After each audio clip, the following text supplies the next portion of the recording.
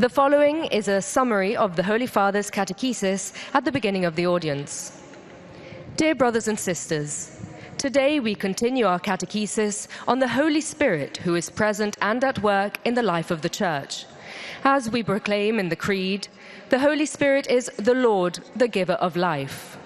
Within the life of the Blessed Trinity, the Holy Spirit is consubstantial, equal in divinity with the Father and the Son.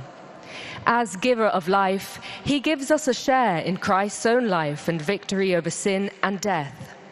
He thus gives us hope amid the suffering and injustices of our world.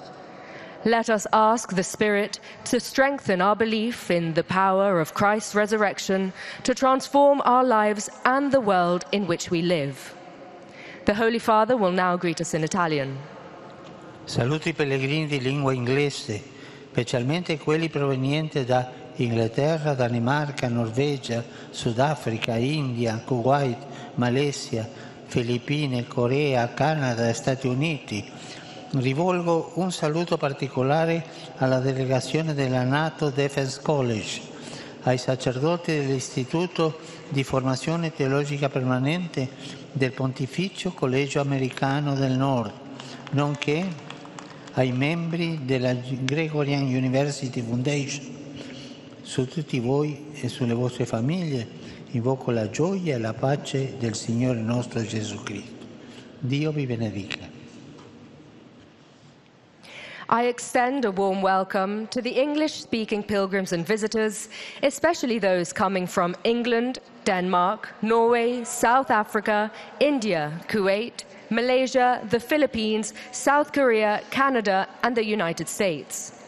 I greet in particular the delegation from the NATO Defense College, the priests of the Institute for Continuing Theological Education at the North American College, and the members of the Gregorian University Foundation. Upon all of you and upon your families, I invoke the joy and peace of our Lord Jesus Christ. God bless you.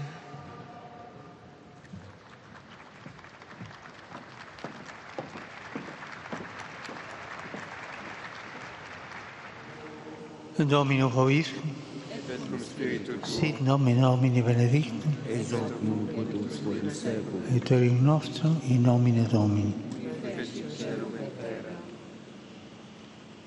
Benedicat vos, omnipotens Deus, Pater, et Filius, Sanctus. Amen.